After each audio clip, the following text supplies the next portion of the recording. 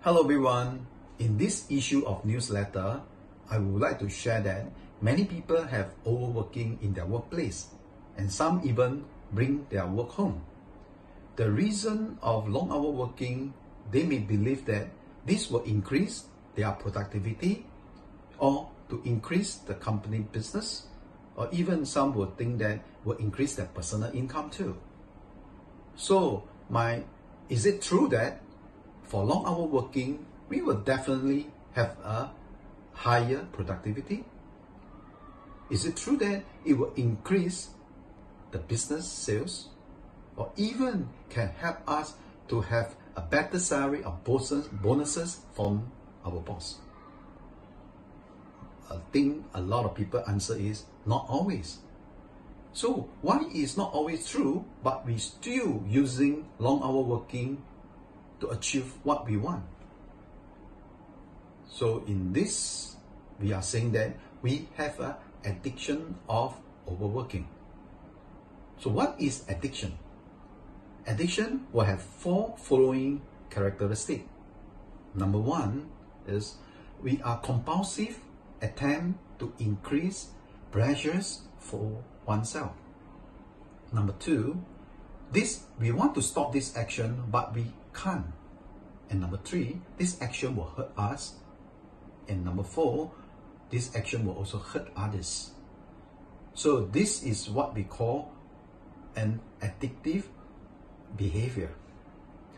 Myself also have overworking addiction too. I remember when I start work, I working 8 hours a day. And gradually I increased to 16 hours a day. And I really enjoy long hour working in a company till I forget about my home.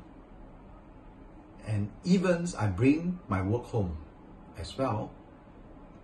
And throughout this process, I've realized that my mind and my body is very easy to get tired and my tempers my temper and my emotion very easy to get, you know, boiling stage.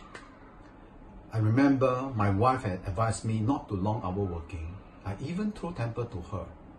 And I easy to get uh, angry with my kids, my family as well.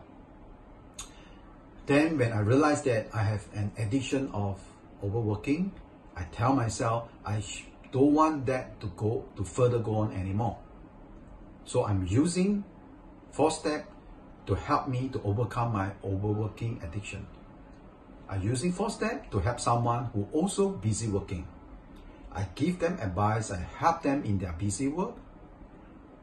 But if you ask me why I can be easily get out of my overworking, I must be thankful the powerful life tool that teach in the level 6 workshop.